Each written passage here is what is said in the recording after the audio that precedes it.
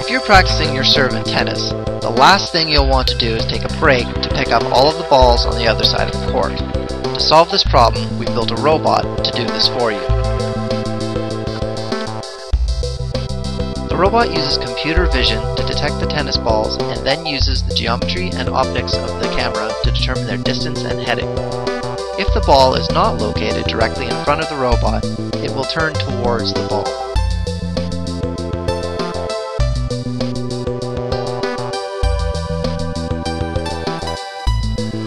The robot is durable. Vulnerable parts of the robot are protected by the chassis so that even a direct hit, seen here, does nothing to impede its function. In order to pick up balls, we attached metal fins to a conveyor belt and suspended it above a ramp. Balls are pushed towards the mouth of the robot by the funnel arms and then pushed up the ramp and into the basket by the fins.